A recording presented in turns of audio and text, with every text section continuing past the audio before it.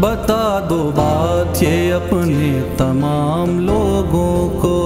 तुम अपने नफ्सों को लाओ, हम अपने नफ्सों को। तुम अपनी औरतें, हम अपने परदादारों को। हम अपने बेटों को लाए, तुम अपने बेटों को। जो हक पे होगा